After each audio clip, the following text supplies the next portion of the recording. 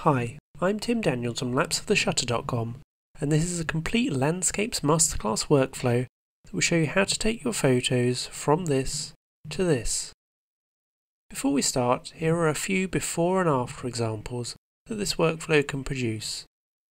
None of these took too long to make and all were made entirely in Lightroom and Photoshop without any additional plugins or other software. The only helpers that I use were the Lightroom Develop System, the Photoshop Color Control Action Pack, and the Photoshop Landscape Color Grades, all totally free to download and use from lapseoftheshutter.com.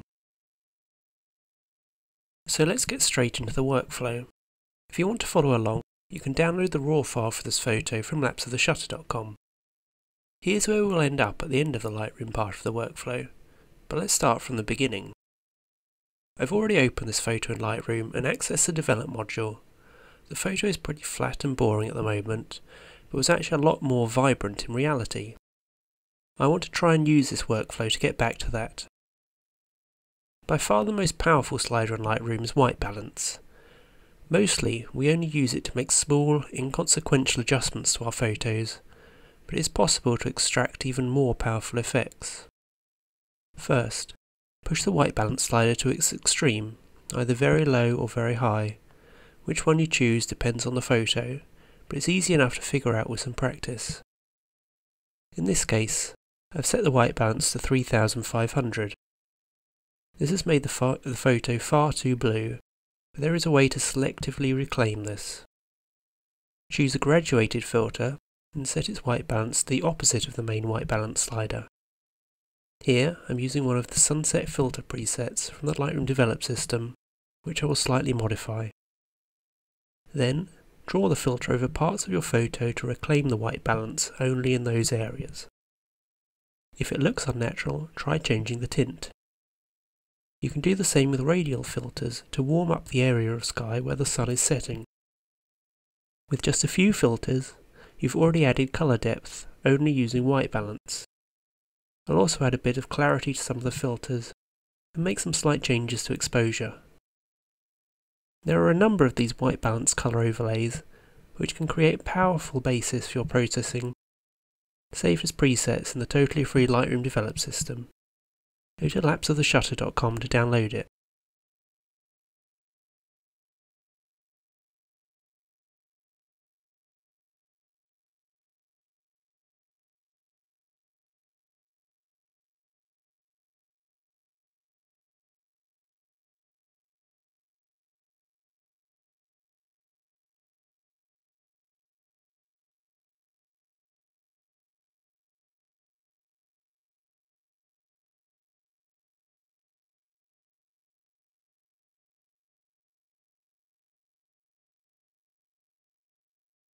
There is very little else that needs to be done in Lightroom now.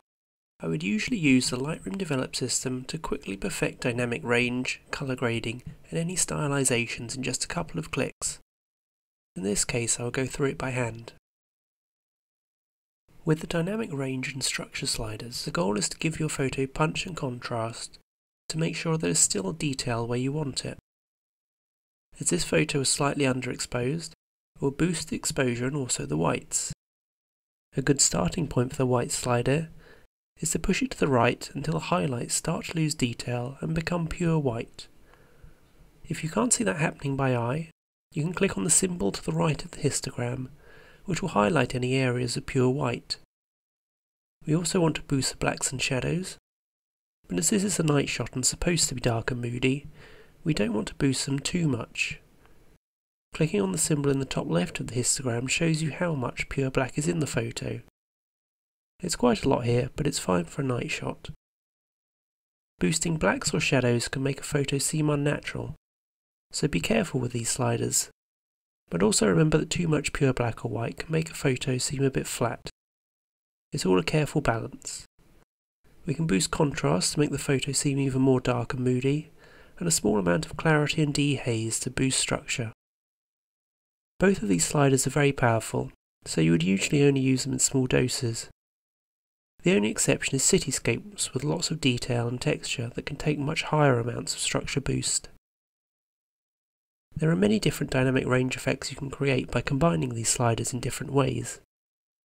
If you wanted to create something like an HDR effect, for example, and didn't want to use the free Lightroom Develop system, which has a number of dynamic range effects already laid out, you can try reducing highlights, increasing whites, reducing blacks, and increasing shadows.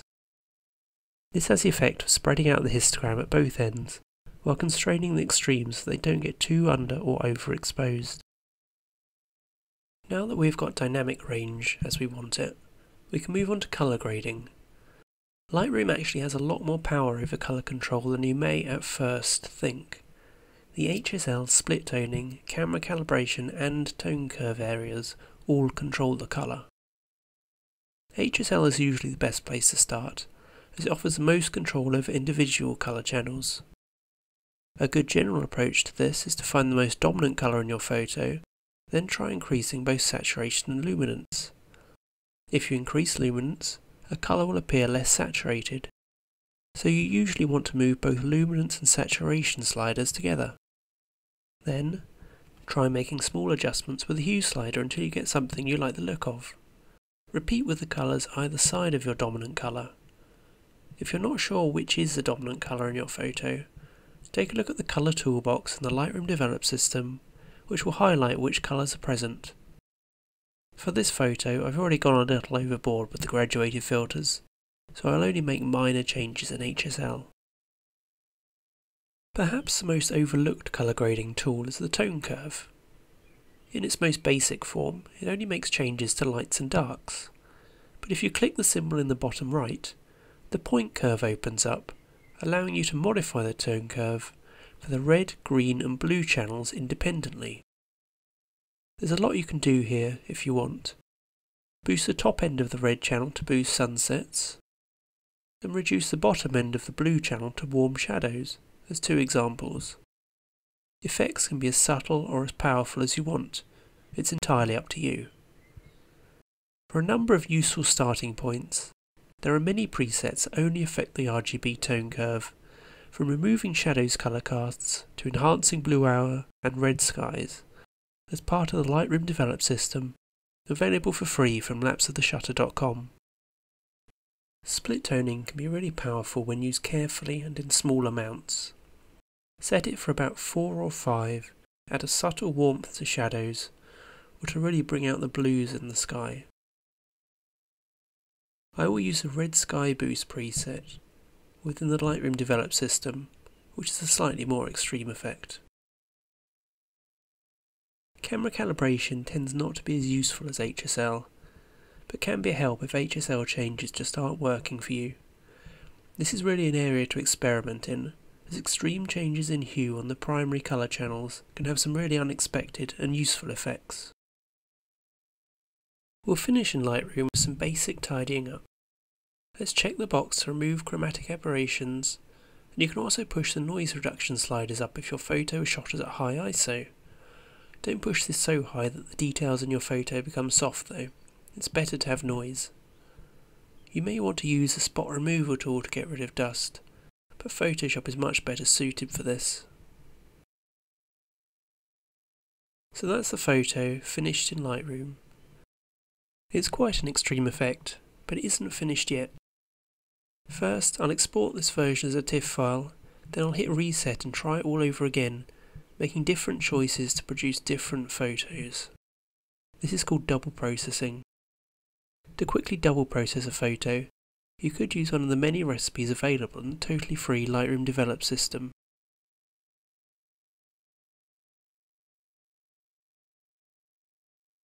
I'll open the version of the photo I just created, plus another that I did earlier into the same workspace in Photoshop, blend them together by hand. When you are dealing with a double process photo like this, painting a layer mask on by hand is usually the best way to blend the photos. Because the photos have a very similar dynamic range, other blending methods, like luminosity masks, will not work very well. So I simply add a layer mask and quickly paint over the parts I want to blend with a large soft brush. I have a video and article that goes into much more depth on the many different ways that you can blend photos. Take a look at lapseoftheshutter.com for more. We can now flatten the photo and move on to perfecting the details. We'll break this process down into colour, tone, stylizations and tidying up. In Photoshop we have much finer control over colour than in Lightroom. There are far too many ways to modify colour to go into all of them here, but I find the most useful is saturation masks. They are simply a selection method that allows us to easily select pixels based on the colour saturation, not their hue or luminosity, which means that we can easily shift colours to our liking.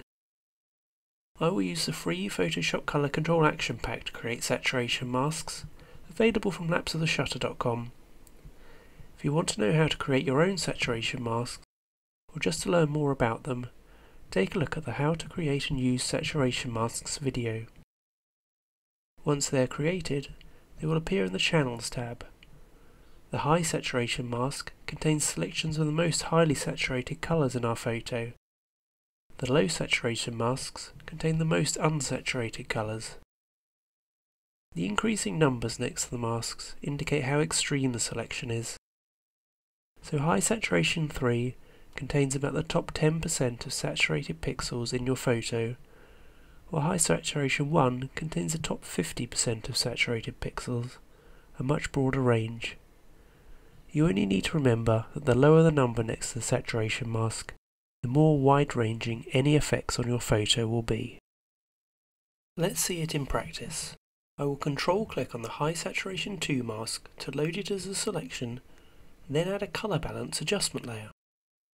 The high saturation 2 mask will automatically be applied as a layer mask to the colour balance adjustment layer. We can now make changes to the shadows, midtones and highlights of only the most saturated colours. In this case, I'm going to make them a bit more blue and a bit more red. We can repeat this with the low saturated colours, which will make a lot more yellow and red.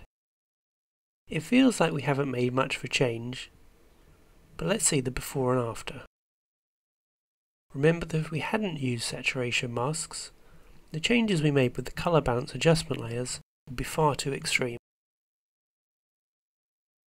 Now let's use the mid-saturation mask to add some basic contrast. Control click on the mid-saturation mask, ignoring the warning, and add a curves adjustment layer, automatically loading the saturation mask as a layer mask. A strong S-curve often works well with this mask to really boost a photo. This is really only the tip of the iceberg with what you can do with saturation masks. They are incredibly powerful and can help with all sorts of colour and tone effects. There is much more on them at lapseoftheshutter.com. You can also create pro contrast using a variety of filters.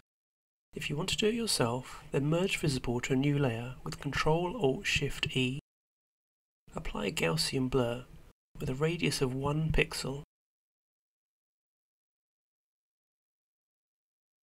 and then apply the high pass filter with a radius of 100 pixels.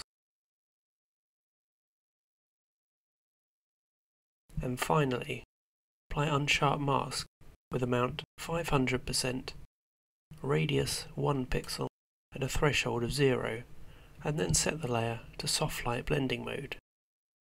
You can reduce the opacity to whatever looks good to your eyes, and even paint out areas where this doesn't work so well using a layer mask. All of this is done for you with an action saved in the Photoshop Colour Control Action Pack. This is a strong and powerful effect that should only be used sparingly. Most photos look better with a subtle vignette to help direct the viewer's gaze where you want it to go. They darken the frame and can help the centre stand out. The easiest way to create one is with the lasso tool, with a feather set to several hundred pixels. Roughly draw where you want the vignette to go. Choose Select Inverse from the menu and add a levels adjustment layer. This will automatically apply the selection you made as a layer mask. Then move the central grey point slider on the levels layer to the right to create the vignette. You can also brighten the centre of the photo to make the vignette more pronounced. Simply duplicate the vignette layer by going to Layer, Duplicate Layer, or Ctrl J.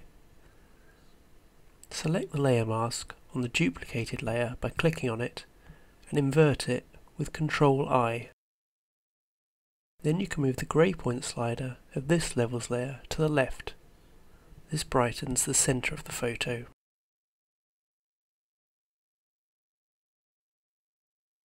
A good final stylisation is to add some highlights glow. This is turning the highlights soft and dreamy or keeping the shadows sharp.